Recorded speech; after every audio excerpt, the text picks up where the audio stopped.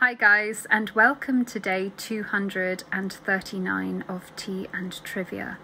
I didn't actually realise this until this evening, but today is National Just Because Day, where you are meant to celebrate doing some of your favourite things or treating yourself or doing something you've always wanted to do just because and it is quite rare that my life happens to fall in line with one of these days, but today is actually one of those days.